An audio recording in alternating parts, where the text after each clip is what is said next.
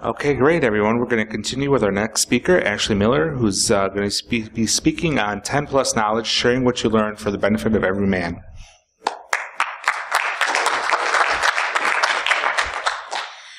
Oh, I'm in the habit of saying good morning, but uh, good afternoon, everyone. This is 10 Plus Knowledge, sharing what you learn for the benefit of the everyman, and I am Ashley Miller. So if you're here for another talk, I'm sorry, you'll have to listen to me. And let's get started. There we go. So a little bit about me before we get started. I am a school librarian and computer lab aide.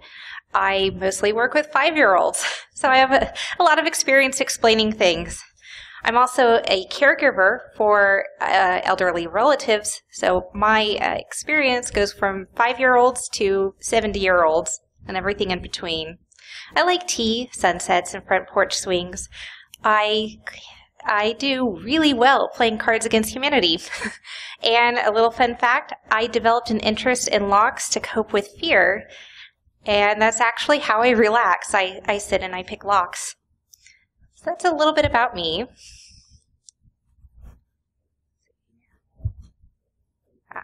So, our agenda for today uh, first off, can events like BSides help in other areas of your life?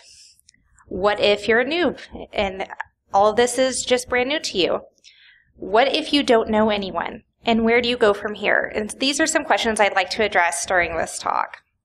So, starting off with can events like BSides help in other areas of my life? Of course they can. What you learn is not industry specific, and that is uh, an excellent thing about this. For example, with social engineering, I learn a lot just by observing contests and listening to other uh, other people's talks. And one thing I came away with was that you can interview better by asking questions. In my uh, area in education, if I interview with a different school, even if it's in my own school district, they might ask me questions about specific policies, uh, discipline procedures, and I may not know that answer. I, I, as I said, I'm used to dealing with five year olds. I'm not sure how another school would deal with uh, discipline areas with middle school students. So I can turn the question around and not only learn what the answer is, but uh, get information from, get them to tell me the answer by changing it and asking the question back to them. Uh, using the example of discipline procedures, I may tell them this is how I handle a discipline procedure at my work site. However, I understand you have a different age group. How would you address that problem? So it gets them to answer the question for me, and it tells them that even though I don't know an answer, I am perfectly willing to ask someone what the right, what the correct procedure is for that location. So by asking questions, I get someone else to answer the question for me. When it comes to confidential information, I'm hyper vigilant about what I post online and what I share with other people. So I've learned not to put stickers on my car that show where I come from and uh, who I work for. I certainly don't want other parents in my community to come up and try to get information from me about their child or another child. For one, I can't tell them about uh, children at my workplace. And number two, I, I, really don't want them to bother me while I'm trying to do my grocery shopping. Uh, when it comes to social media, uh, online, being online and presenting myself in person to other people, I'm usually mindful of what I say and how much information I give out. I'm very selective. I will tell you I'm from this location or this general location in my state, but I'm not going to tell you specifically which town unless I know you that well. I'm not going to give you information about when I go on vacation because I don't want to have to worry about my home when I'm gone. And I get onto people online, uh, or I get onto people who are online saying, Hey, we're going to Disneyland for a week. It's like, great. You just told me when you're gone. So if I was someone who is inclined to rob you, I could. I not that I'm that kind of a person, but you just told me. And when it comes to coding, uh, we learn programming languages. One thing I've noticed that kind of translates into your everyday life is you tend to be a little more efficient and direct with your with the language that you do use. If I speak to a coworker about a problem, or I want to get information from my friend about what we're doing next week, I'm going to try to be as direct as I can, uh, uh, as direct as I can, and uh, ask them the, the questions or lead them into a conversation so I can get what I want right now. it sounds a little selfish, but it am- it certainly uh, answers my questions. Speaking of questions, there are no bad questions. Especially when you're here today or this week if you go to DEF CON, find someone that has a similar interest or if you run into someone, if you're standing in line, make use of that time and start asking questions. Ask them what kind of industry they're in.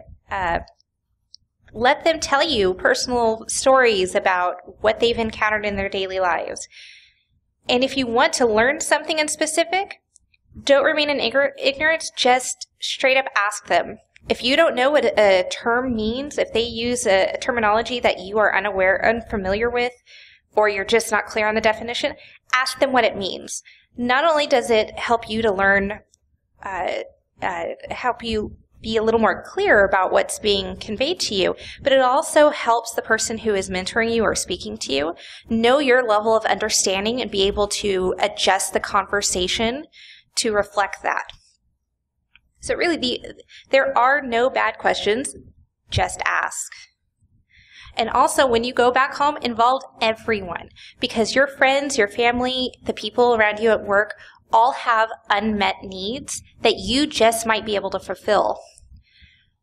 One example is that at work every year we have a meeting and my boss will ask, Oh, does anyone notice anything we need to change for our safety procedures?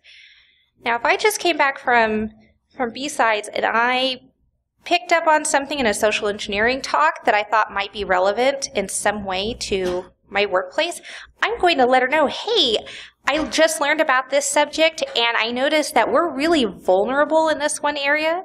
Or when it comes to physical security, you know, if we've made this quick little change, it might be helpful to us in the end and it might benefit us uh, in terms of keeping our students and our information safe. And uh, I don't want to take credit for it, but there are some changes in the past year that I've noticed that have had connections to things that I've mentioned in the past. It's very nice to see when your bosses and when your coworkers say, "Hey, I understand that uh, you just learned about this. You want to chat about it," and and takes your actually takes your ideas and puts some of them into practice. They really take it into consideration. When it comes to my friends and family, again, if they're going on vacation, I try to tell them not to announce it to the world, uh, in our small town, we have a lot of break ins. I really don't want to see my friends' houses broken into just because they said they were going to be out of state.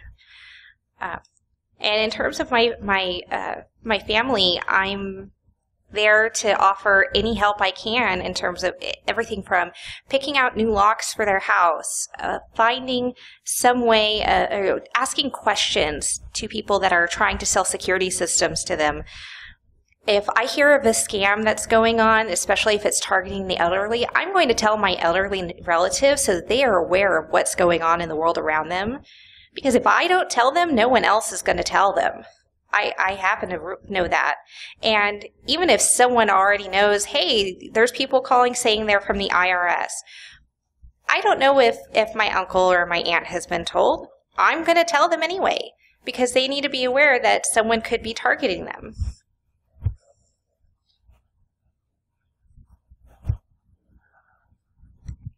There. When it comes to recommendations, a lot of my recommendations have uh, revolved around going out there and just further educating yourself, finding inexpensive uh, ways to gain knowledge. I don't know about a lot of you, but I don't have a lot of money to spend on on on going back to college and taking expensive classes. So I'm going to go to places like Khan Academy and Codecademy online, which both offer free services and allow me to continue my education, be it just in general programming or uh, uh, specific programming languages. I visit hackerspaces, which they usually have uh, workshops In fact, one of our, our local maker spaces offers workshops uh, monthly and classes, new classes starting up every week. I've also been known to take a few college classes. Our local community college is wonderful. Their tuition isn't horrible and isn't going to cost me an arm and a leg to learn something new. Another great way to learn something is to read books and articles. Personally, for me, I benefit from books that just get straight to the point and kind of break things down. So you will see For Dummies books on my bookshelves. That's, that's, I found that it works for me and I'm going to go with it. And especially this week, interact with others uh, via events, social media, through talking with them one on one. You're going to gain a lot of knowledge that is not found in books just by hearing their personal experiences. So at this point, I, I know it's kind of short, but any questions?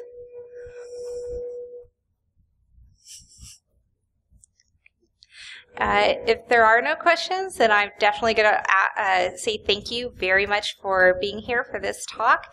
If you want to follow me on Twitter, I'm at Vintage Sister. And if you need to get a hold of me for any reason, that is probably the best way to find me. Thank you.